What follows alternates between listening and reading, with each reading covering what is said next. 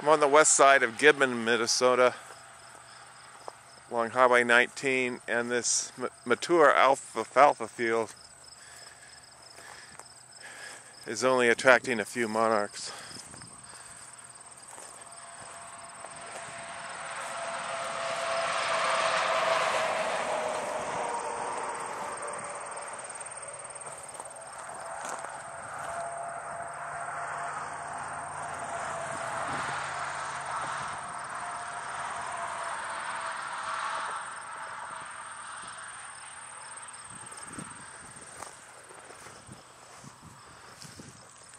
Roughly half as many as last year.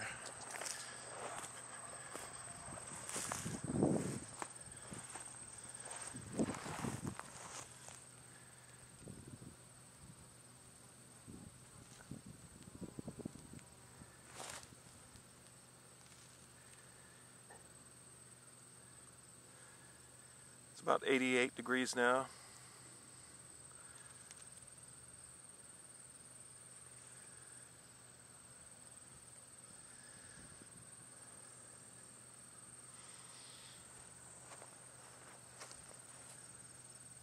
So my overall impression today is about half as many monarchs as last year at this time, last week of August.